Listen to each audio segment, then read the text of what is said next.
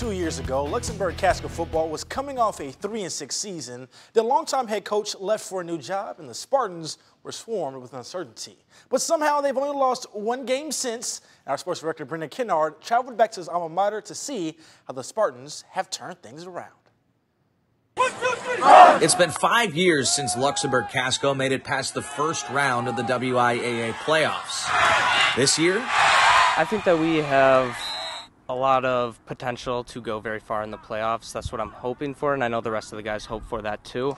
Whatever happens, happens, but I think we have a really good shot. The 4 0 Spartans are ranked fifth in Division 3. This season's momentum started last season when LC righted the ship in an uncertain season going 6 and 1 and finishing with a big win over powerhouse West De Pere. That game really meant a lot, not just for us, even for guys who graduated years in the past who lost to West De Pere in the playoffs. I think it carried us into this year, but it also changed how we thought of this year. All of us, like juniors last year, we wanted our senior year to be different and similar to last year. So far, that's the case. They're perfect through four weeks. Players credit a talented senior class and new head coach Neil Searing for creating a culture of camaraderie.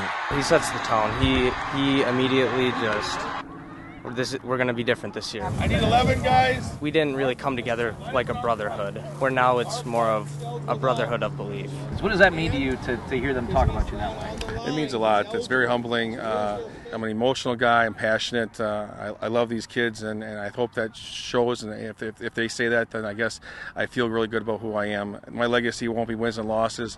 It'll be my, the relationships I built with people. Off to a good start on both counts but he hasn't done it alone.